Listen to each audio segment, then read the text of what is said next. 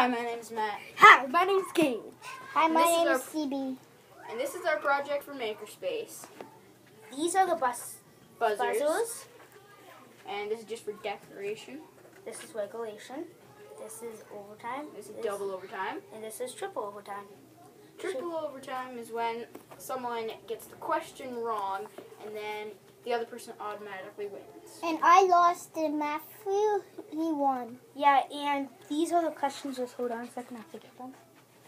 You're just get the questions. These are all the questions.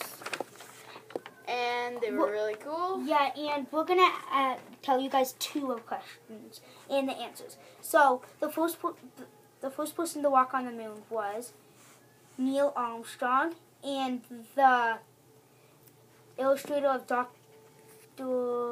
Cat in the Hat was Dr. Seuss. Jesse.